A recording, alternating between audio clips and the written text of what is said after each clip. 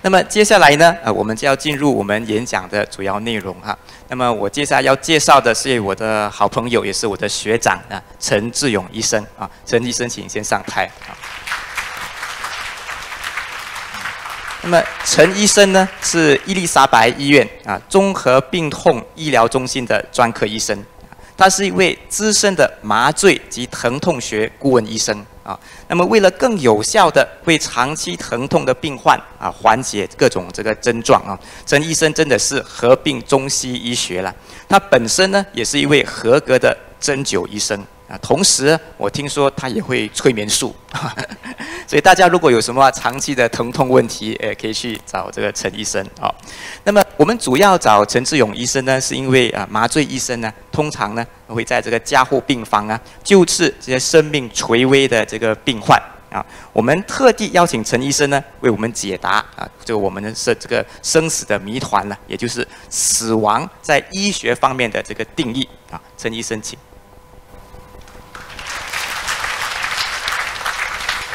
谢谢韩宇，大家早上好，各位师傅好，非常感谢他们邀请我今天来给这个讲座。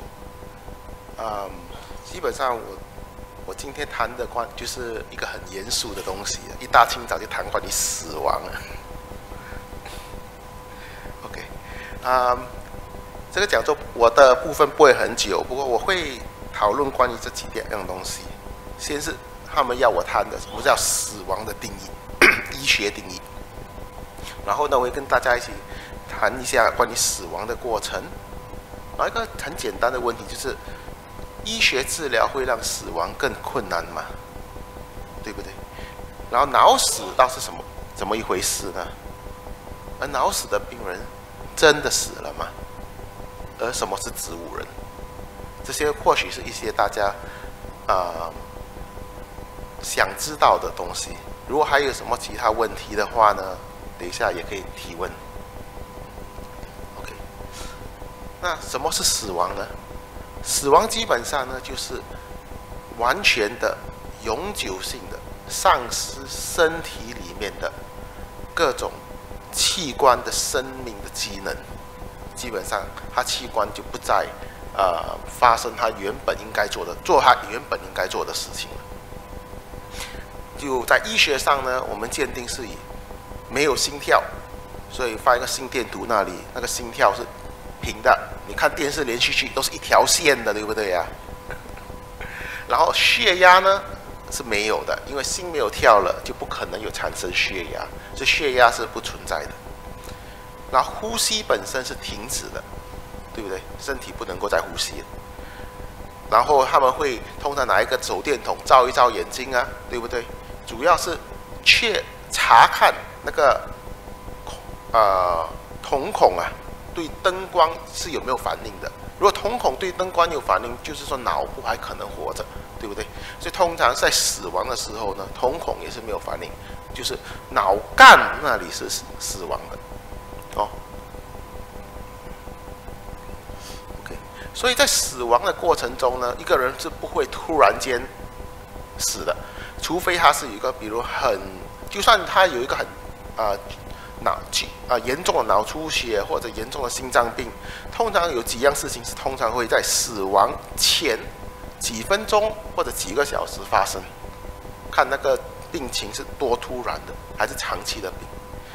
开始呢，你会发现到血压会偏低，血压偏低到一个程度后呢，心率就开始不规则了。他心有时候很快，然后有时候很慢，慢慢到三十多、二十多也可能，然后慢慢他血压在很低的情况下，比如呃血压在四十五十，呃上限的情况下呢，他会让他的血供到各个器官不够。然后第一个衰竭的通常是肾脏，肾脏对血压的敏感度非常的高，就是说呢，当血压掉到低于一个程度的时候呢，血供到肾脏将会不足，肾脏就开始衰竭。肝脏忍耐力会强很多，所以肝脏随着时间的隐退也会慢慢开始衰竭。而呼吸呢本身会越来越微微弱，直到最后当心脏停的时候呢，呼吸也会停。这些都是主主要器官呢，对不对？而在医学不断进步的情况下呢，很多的这些功能呐，我们刚才说的这些功能，是能够用药物或者先进仪器来维系的。就是你如果你去一个任何护理病房的话呢，你看病人左边啊、右边啊、前面、后面摆的都是仪器，就是医生能够做的就是这些，用仪器来维系生命，对不对？因为啊，所以或许。有时候可以把它逆转过来，有些病况我们觉得有机会救的，可以它逆转过来，避免它走向死亡的过程，或者呢，可以长期的维系中。啊，有些病人，你看他们可能，我曾经见过一个病患，呃，长期植物，呃，植物人现象，他在那个仪器呼吸仪已经三四年了。啊，这个也是有看，也是有这种事情，因为可以长期很长的时间的维系中。比如，我们可以用心肺机，心肺机的话呢，在很严重的病人，它可以完全代替整个心肺的功能，它可以产生血压给供氧，虽然不能够很长的时间，不过一两个星期、两三个星期，在心肺机基本上那个心脏不需要工作，肺也不需要工作。人工呼吸，这个是大家所看到的最长的东西，对不对？一条塑胶管在嘴巴里，然后呢，啊，机器就代替了，呃，病人啊的呼吸功能。哦，洗肾机、洗肝机都可以代替肾脏、肝脏的功能。然后，如果心不想跳、跳不规则的话呢，心脏起搏器。会能够按时的让心脏跳动，啊，有时候紧急的时候呢，你不会看到这个，只会看到那个线管，然后接到外面的一个大起搏器，也是有，就是只要起搏器开动，心脏是一定会跳，啊，未必有血压，血压可能很低，我心脏跳是不会停的，因为它有起搏器，准时的发送信息。不，只有在这种情况下呢，我们如何鉴定一个人已经死了？很多时候，所有的功能能够慢慢的被取代，一个功能取代不了，就是脑死。因为什么是脑死？这是一个有些人啊想问的问题，对不对？很多时候，呃，医生啊，在啊临那个呃有就是在器官移植啊，什么时候很多会谈到脑死的问题。就是器官还活着，或脑已经死了，这是一个什么概念呢？就是说脑功能可以说是完全丧失，或者表现在那个心电图上，那个脑电波的活动也慢慢也也没有了。哦，然后如果有些时候他们用啊方法就查那个血供到脑，血供到脑也是减到差不多没有了的情况下，脑脑死会发生。很多时候是，啊，一种呃法定的呃定义啊，就是说这个人是死亡的一种定义，就是说在法律上，呃，脑死是有法律依据的，哦，不是说呃你说脑死，呃，医生说脑死，然后没有法律的根据在后面，是有法律根据在后面的。他开始使用是在一九七一年在芬兰。就过后呢，随着科技的发展，就要确认一个死亡的定义之一呢，用于什么功能呢？就是用于呃器官移植，因为很多器官移植需要是活体器官，比如心脏移植。你心脏移植做心脏停的话，你就不能够移植这个心脏了，因为心脏坏死的时间很快。不过如果这如果你要做活体器官移植的话呢，就说这个人需要确保。就确在法律上有一个依据，说这个人已经死亡，啊，这个这个是不是佛教的依据？这是法律的依据，就说法律上确认他已经死了之后呢，你可以拿他的心脏移植过去，啊，所以因为你是移植一个尸尸体上的心脏，所以这合法性就在那里，要不要不变成谋杀了，对不对？哦，那如何测定啊脑死呢？就是变成一个非常关键的问题，极度关键问题，对不对？因为如果你这个确认有问题，这样你的法律跟你的医学依据本身呢就出了问题，对不对？就是说呢，这这一系列来就是变成谋杀了，就就不是不又不是一个从一个尸体里取器官，而是一个活体里取器官，对不对？所以很关键就是在于脑干的死亡，就是说呢，脑干就是这个部分画起圈圈起来这个部分哦，中脑啊，呃，脑桥的一个部分，这这个这是脑干。为什么脑干那么重要呢？因为脑干的功能，你就是它维持清醒呃神志清醒的功能，它呃保持睡眠跟清醒的循环性。就说你如果嘛脑干没有这个功能的话，病人是醒不来的。然后呢，它也是确保生命的功的功能。它有很多，比如自主呼吸，呃，你你坐在这里，没有人想的，我要记得呼吸啊，对不对？从出世就会了，这个是脑干的功能。如果脑干不在的话呢，就是脑干的功能丧失的话，人就不会自主呼吸了。然后很多神经线呢，都是从大脑传通过脑干到全身去。如果你把这里一刀斩过去的话呢，就没有脑干了，上面的神经线也传不过去。哦，还有很多交感神经呢，也是在哪里？而交感当脑干去世啊或者死亡后呢，很多的交感神经的变化呢，会让心脏死亡在脑死亡后的数天内发生，就是说它不会马上发生。不过因为当脑干一去不在了，交感神经就会产生混乱，交感神经产生混乱，心脏它有自己的自发的发动，哦，所以心脏它它是它的发动是不需要。外面因素控制，不过心脏的发动呢，是在脑干的调控之下发生的。所以当脑干的功能失去呢，心脏死亡呢将会随之而发生，因为呢它会影响到血压，影响到心跳什么东西，所以一切死亡过程就开始产生，对不对？所以医生将会当脑干死亡后的病人呢，要维系生命，其实是很多工作做的。你要用很多药物来控制他的血压，他血压会有时高，有时低，可以变偏到很低，心跳极度不规律。OK，那很多时候测试脑干死亡是怎么做的呢？对不对？如果你是，如果你认为这个之前那一个就是说呢，OK，我们若医学上确确认了，就是说 OK，我们大家都成就决定，就是脑干死亡就是。呃，躯体死亡的先兆的话呢，那下一个问题就是，要如何很准确的测试脑干的死亡，对不对？如果你的依据就是脑干死亡，你没有一个很好的测试工具，没有用，对不对？所以必须要有这个测试工具，能够没有错误的确认脑干死亡，你才能够说这个人已经死去。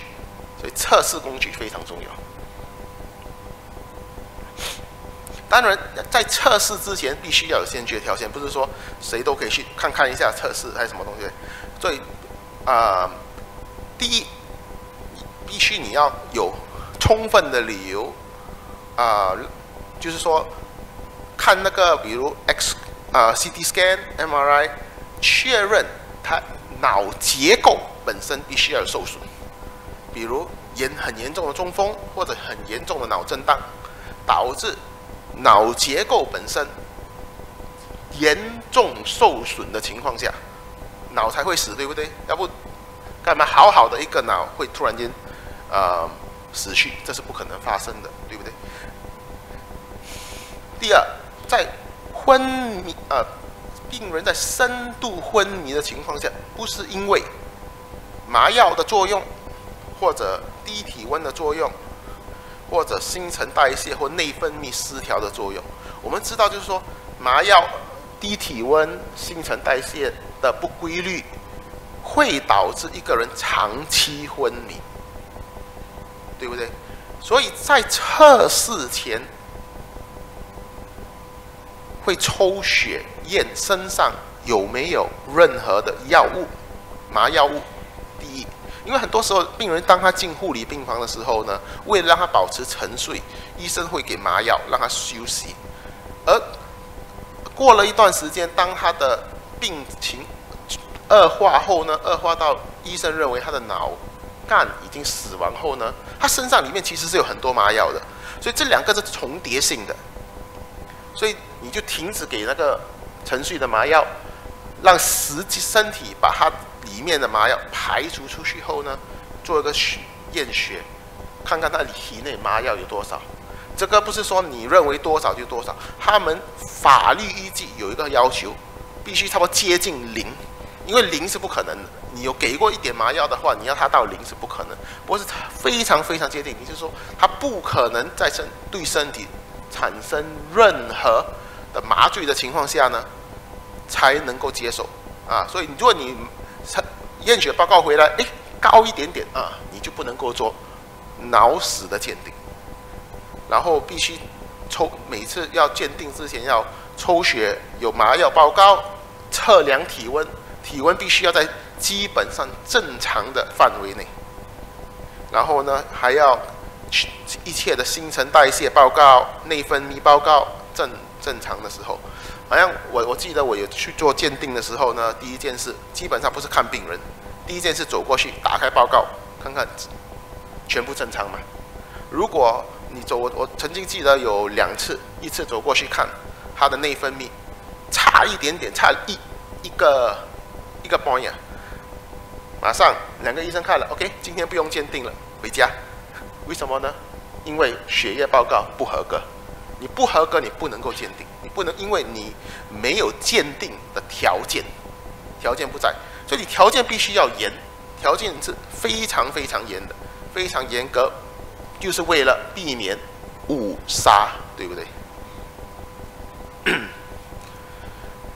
然后多一个先决条件呢，必须没有自主呼吸，如果因为机器呼吸。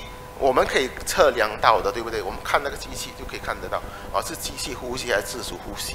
然后这个在这种情况下没有自主呼吸，一切都符合的情况下呢，我们才能够做一个脑死亡的鉴定。所以，啊，通常是独立医生做这个鉴定，就是说你跟这个病人完全没关系的，你没有照顾过他，你也。如果是器官移植的话，你也没有照顾对方的病患，或者你也没有参与这个移植过程，这个是非常重要的。就是说，你没有他的护理，呃，或者有关受益人护理，或者做器官移植本身的工作，而一必须是一个呃专科医生才能够做这一类的鉴定，没有专科医生文凭是不能够做死亡鉴定，哦，不是一个普通医生。就能够做一个死亡鉴定。然后呢，来我刚才所说的，所有的，对不起，所有的呃报告必须是正常的。这种情况下，我们才会做这个鉴定。而这个鉴定本身包括呢七项功能的测试。啊，这七项功能我将不谈哦。不过当这七项功能的测脑干的功能，就是脑干所有的功能你都拿来测试，全部属于阴性后呢？你才会确认病人为脑死，哦，为之之后呢，就是你确认脑死之前，他跟器官移植是没有关系，没有人会来看他的器官好不好，有用没用，因为你不是你鉴定死亡后呢，他们才来看那器官的功能如何，可以不可以采集，啊，等下我会讨论就是测测定后的呃一些东西哦，所以。就是这是他们所测定的，比如看看他的眼睛啊，呃的反应什么，啊，这是本身非常医药性的东西，所以我讲就是基本上有七项功能，就是当你测这七项功能全部为阴性后呢，才能够确认脑死，而到时候呢，那些所谓呃，你才来考虑器官移植的问题。OK，不过脑死的病人很多人会问他。他尤其是家属，你当你走过去跟家属说，我们测量后你的家属，呃某某人已经去世了，哦，法律上、医学上是去世了，对不对？法律上、医学上是去世了。不过心表面上呢，病人看起来还是活的，为什么呢？你看那个图啊，我在电视连续剧都是一条线的，他这里还一直跳，对不对？啊，你看他的呼吸还在动啊，我虽然是机器帮他呼吸嘛，因为这些病人都是一定有呃呼吸器在帮他呼吸，所以很多时候家家属会看着，好像这个人还活活的躺在那里，你就会讲他死了，对不对？这是本身有他的呃，对家属来说是一个矛盾的情况下啊，你说嗯，所以这个本身对家属或许接受性会比较困难点。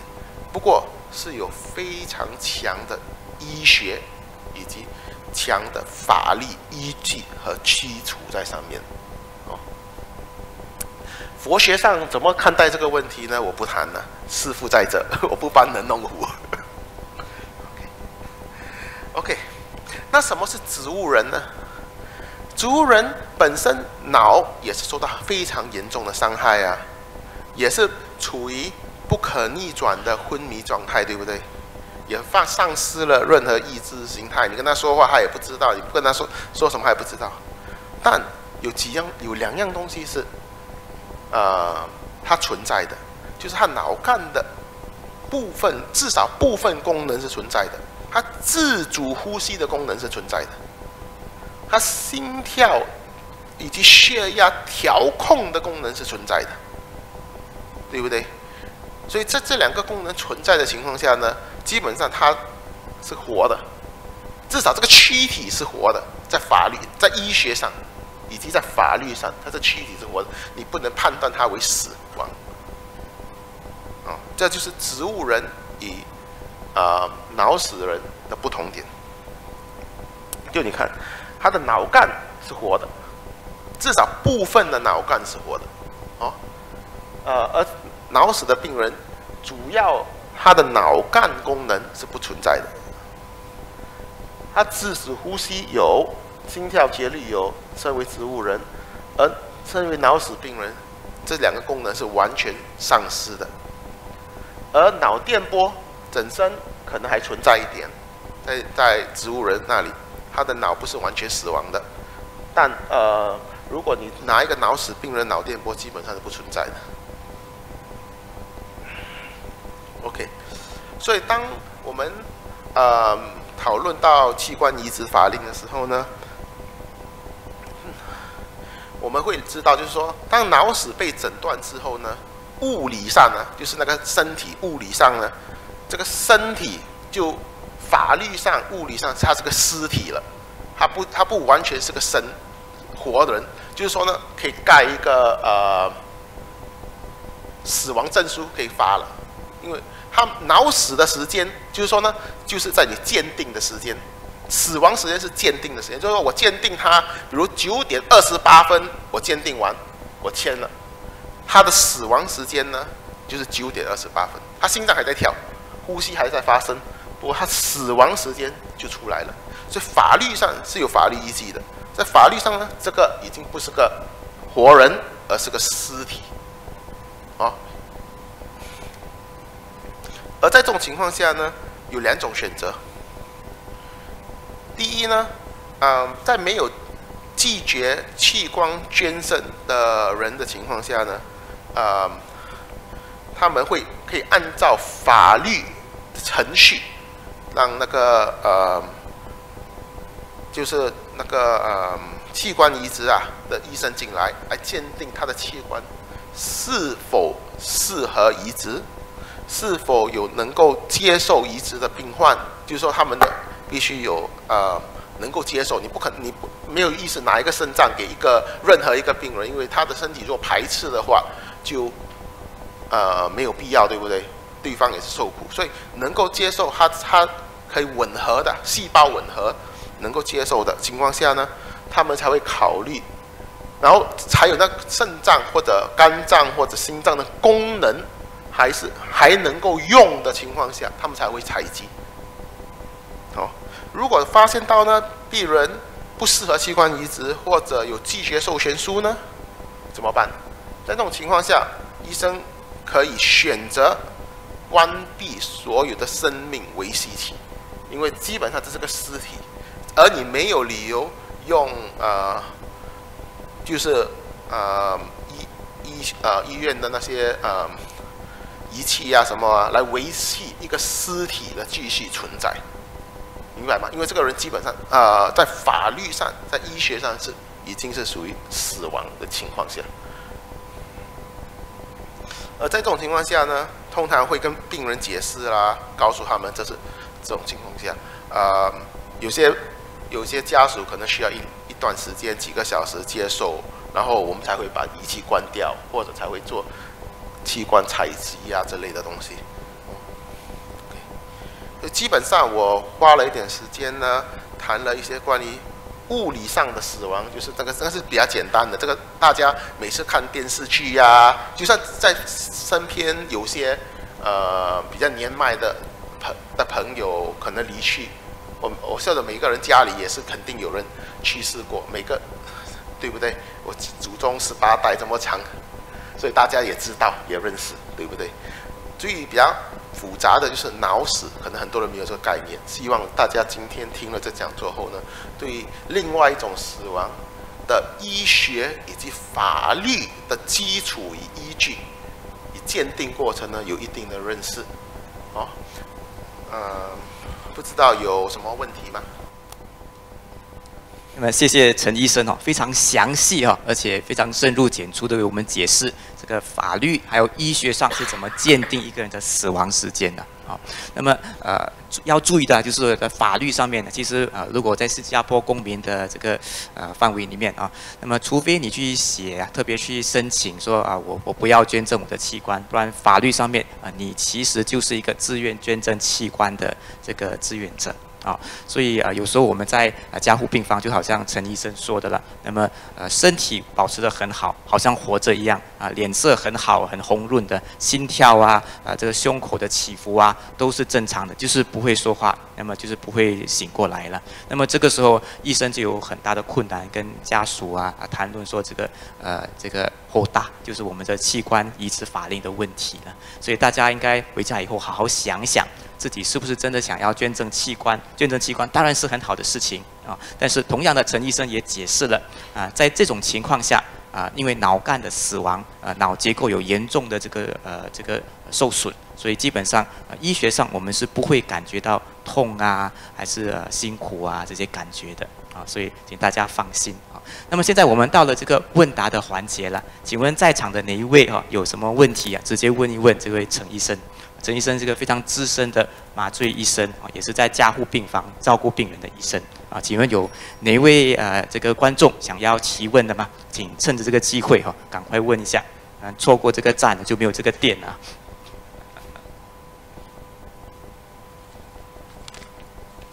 那么可能先由我抛砖引玉一下哈。那么啊，陈医生啊，当然我可能知道答案了，我是帮观众问一下啊。那么请问哈，那么在你这个这么多年来啊，在加护病房啊，在这个照顾病人的经验里头啊，当我们鉴定一个病人脑死啊。请问还会有奇迹出现吗？因为最近这几年前呢，新加坡就有一位律师，他在香港的时候出现问题嘛，然后在香港加护病房有这个麻醉师鉴定说这个病人已经脑死，而过后几天就恢复知觉了，完全恢复正常。那么他是一个基督徒啦，那么他就说这个是神迹了。那么对不起啊，给你一个很困难的问题。嗯，OK，基本上我只能。讨论关于新加坡的脑死鉴定啊，这个香港的脑死鉴定，按道理呢应该是一样的。当然，呃，如果你如果你没有就是按照顺程序啊，我跟你讲一个故事。我曾经跟另外一个医生一起做过脑鉴定，另外一名呃专科医生。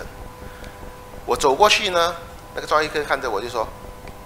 可以了，不用看成绩了，我们直接做了就签名走人了。然后呢，我就打开报告，我不理他。我我打开报告呢，他就去做他的脑鉴定。然后他鉴定完了回来找我，他就说：“OK，我准备签了，我走了。”我跟他讲说：“你签吧，我不签了，这个不会奏效。为什么呢？他血液报告不正常。所以呃，这是我本身经历过的一件事情，所以很多时候呢，呃，虽然是说它有非常严格的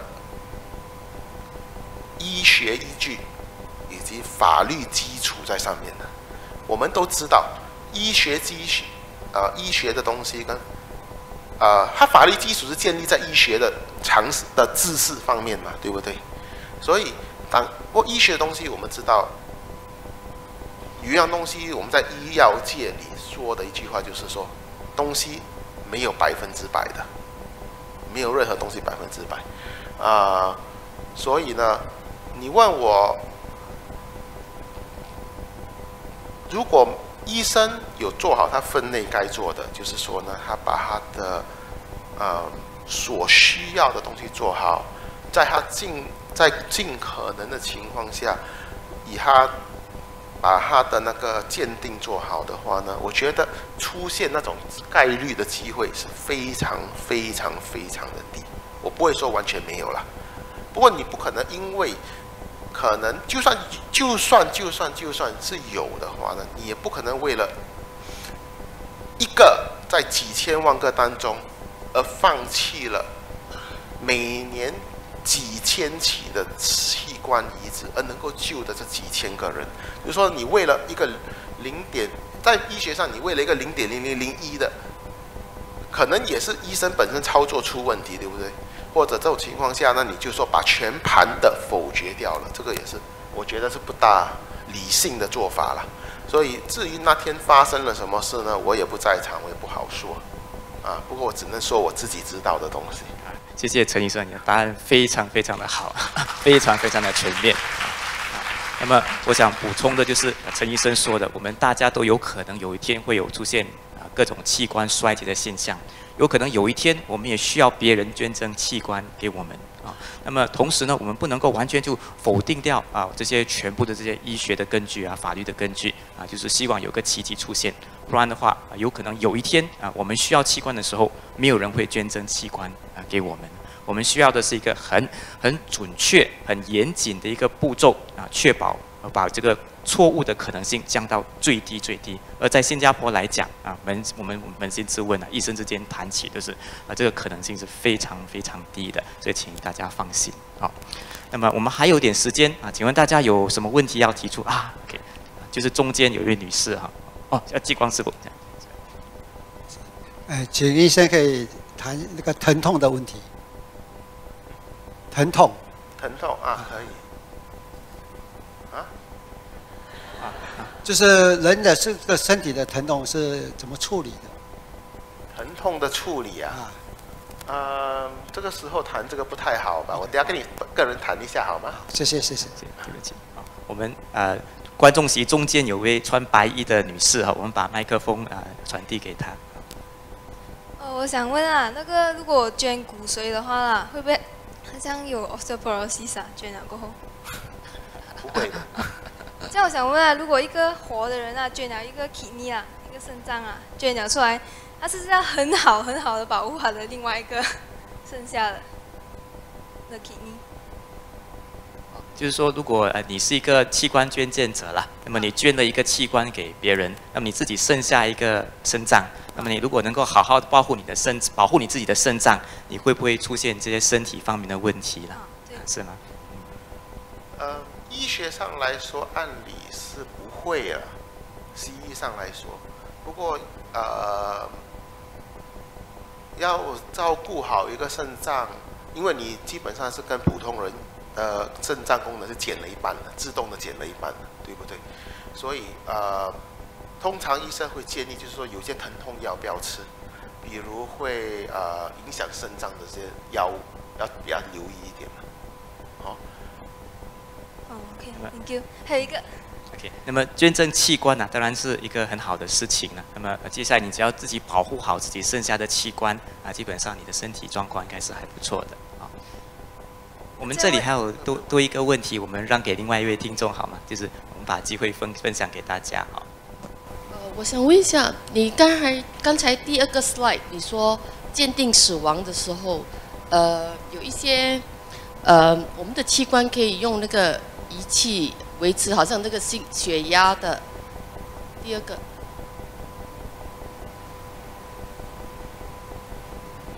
什么可以逆转的嘛？啊，OK，然后呢？怎么了？呃，当你讲逆转，就是说这个人可以完全好回来的吗？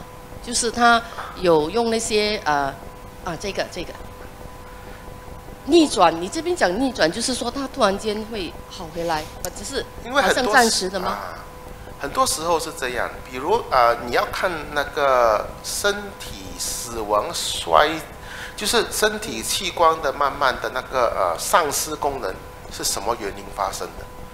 如果它主要原因，比如是呃感细菌感染，比如对对，当你很多时候当细菌感染后呢，血压会很快的偏低，在感染全身的情况下呢，所以当我们给药物、给呼吸器，然后然后心脏、肾脏衰竭，保护肾脏，如果你不做这些东西的话呢，细菌感染很多时候会致命，而它会使到死亡过程。